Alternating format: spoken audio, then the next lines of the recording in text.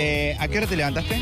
Hoy a las 6. A las seis. Ah, hoy te levantaste tarde. Normalmente, ¿a qué hora te levantas? No, siempre a las 6. Cuando iba a la escuela me levantaba a las 4. ¿A qué hora? A las 4. 4 de la mañana. ¿Y a esta hora qué haces normalmente? ¿Dormir la siesta? Sí, descanso un rato o descanso cuando vuelvo a entrenar. Bueno, acá tenemos dos caras de madrugados. La diferencia de la mía, que está demacrada, ella es no es una promesa, ya sos una realidad de la natación argentina. Sí, hace muchos años que, que yo estoy metida en el deporte internacional, digamos. A los 12 fue la primera competencia que tuve y bueno, dejé un tiempo de nadar, pero ya este año volví.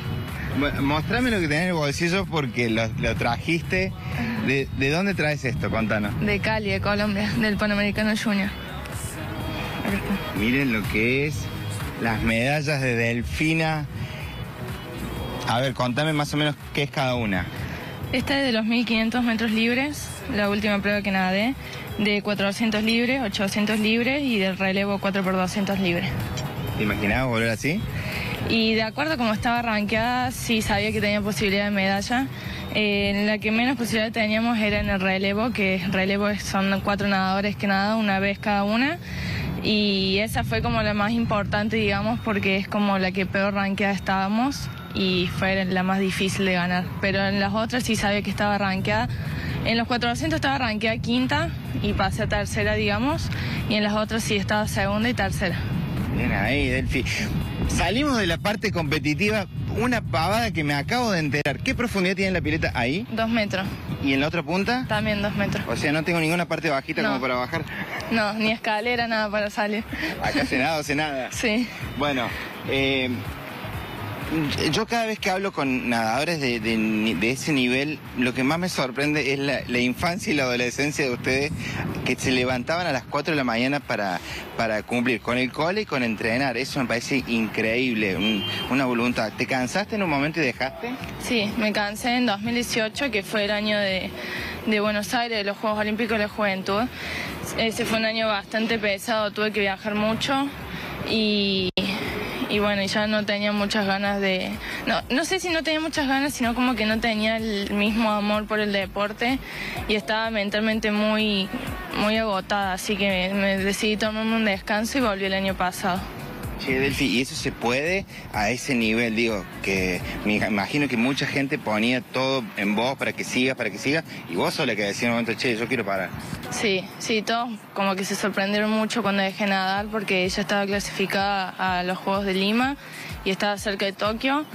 Y, pero sí, o sea, es una decisión que tengo que tomar yo y sí, costó mucho, me costó mucho volver, pero creo que llega un punto en el que pasa todo más por lo mental y si no estaba bien mentalmente no habría podido seguir nadando.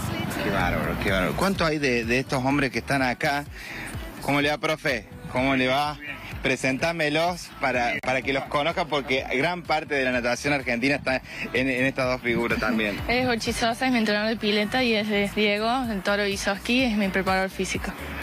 Eh, Bochi, ¿qué, se hace con, un talento así cuando en un momento dice, paro, no quiero más, no quiero saber más nada? Y la verdad que la, única alternativa que te queda es respetar la decisión, porque si bien el enfoque es que es un deportista, pero por sobre todo uno valora y respeta a la persona, es decir, es una decisión personal. Y cuando la persona no quiere hacer, eh, digamos, el trabajo o seguir eh, en la práctica a este nivel, eh, hay, hay que respetarlo, siempre. Toro, ¿y cómo fue la vuelta? ¿Cómo, cómo volvió? Una bestia. Como habrás visto, la verdad que no se esperaba que, que tan rápidamente haga el nivel que tenía antes y más todavía también, pero no le costó nada, es como si no hubiera dejado directamente. Claro. ¿Y no- ¿Cuánto tiempo estuviste hacia, separada del, del entrenamiento de, de alto rendimiento? Dos años. A una edad clave. Sí.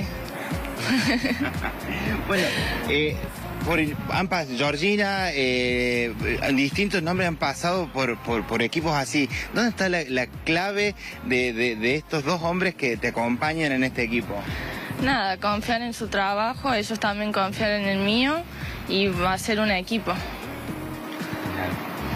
Un equipo que uno piensa a veces que estos chicos ¿Cómo hacen en la adolescencia para, para que no aflojen, Bochi? Esto siempre seguimos, tratamos de, independientemente de los resultados, acompañar a los padres que están en un, eh, con un niño que está haciendo deporte para que no deje, para que sienta que puede, que cree en sí mismo. Y el primer lugar es indudablemente que tenés que trabajar con los padres, pero por sobre todas las cosas estamos hablando de que ellos hacen algo que les gusta. Comprende, hay veces de que el, enfoque está como no viene interpretado que ellos están haciendo un altísimo sacrificio. Es, es como tu, profesión, como cualquiera. El primer punto es el placer y el gusto por, por, nadar. Es, es imposible llegar a este nivel sin que auténticamente te guste lo que haces. Eso, eso es determinante, es clave. Después que para la gente que no tiene la, no, sé si decir la capacidad, pero la, posibilidad o el, gusto de hacer algo durante tanto tiempo como que es el nadar, o le cuesta nadar, indudablemente le parece una locura nadar cinco horas diarias. Pero a quien es como un maratonista, como cualquier, el trabajo de ustedes, cuántas horas están con la cámara haciendo nota, indudablemente. ¿Tiene ganas? No tiene ganas. La pasión yo creo que ya viene con uno, ¿viste? Es muy difícil desarrollar la pasión en alguien que, que de, cuna no la tiene, ¿no? Bueno, estamos acá al lado de la pileta del Kempes, la pileta olímpica del Kempes, ¿los escuchan, chicos? no los escuchan. Pregúntenme, yo les traslado la pregunta, ¿sí? A Delfina, si le podés trasladar esta pregunta. Durante los dos años en los que abandonó la práctica, la competencia, la actividad, ahora antes de volver eh, con medallas en Colombia, con récords, el pase al Mundial al que se va la semana que viene Emiratos Árabes Unidos, durante esos dos años sabáticos, ¿hizo algo salió a correr, siguió nadando, jugaba al pádel una vez por semana. El, Fe, el Fede pregunta, bueno, te, vas al Mundial ahora el fin de semana. ¿A dónde te vas primero? A Abu Dhabi. Abu Dhabi, así lo decís como si fuera acá eh, en Jesús María. Bueno, eh, éxitos con eso. Escucha, en esos dos años que estuviste, dos años sabáticos, ¿Físicamente qué hacía? ¿Zumba? ¿Algo? No, sí, seguía haciendo actividad física. Mi mamá tiene un gimnasio y eh, me queda al lado de mi casa, entonces hacía actividad física. No estuve parada todo el tiempo. ¿Y con un plan, eh, eh, me imagino, o, ir a hacer algo, mover un poco? No, sí, tenía un plan, pero no el plan que hago ahora. O sea, el plan para una persona que no es de alto rendimiento, digamos.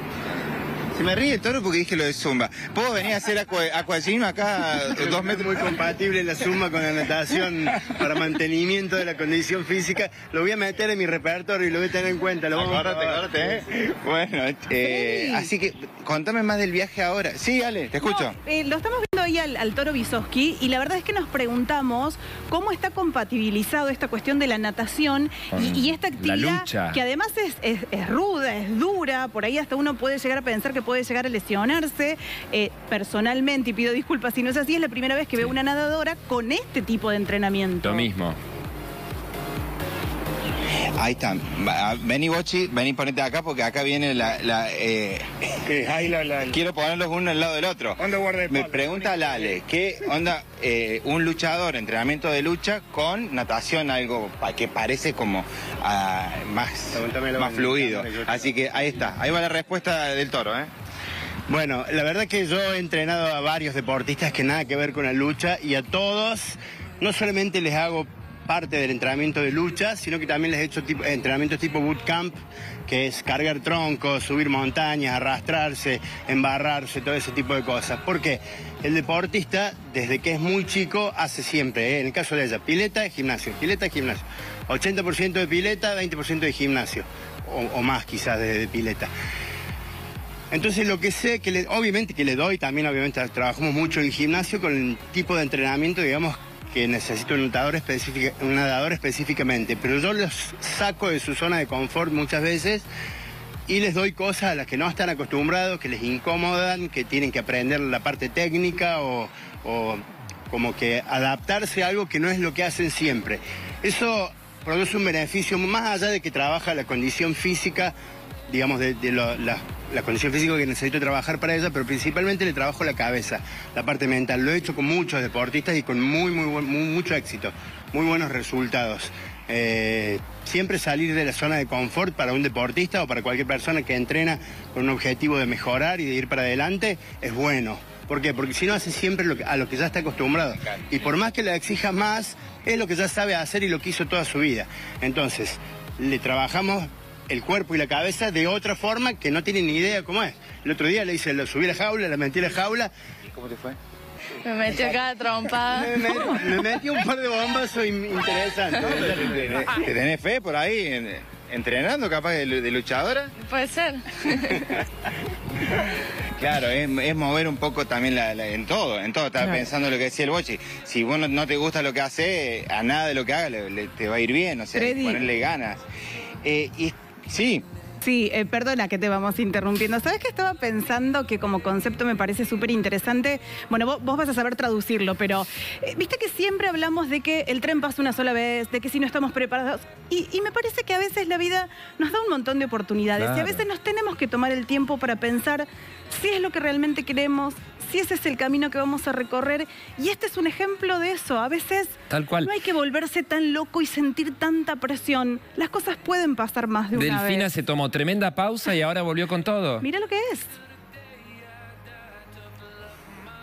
Sí, sí, totalmente. Eh, lo que están diciendo los chicos es lo importante de, saber frenar. En eso Delphi es un gran testimonio el que vos estás dando, independientemente de los resultados, que mostrame las medallas de nuevo porque las tenés ahí.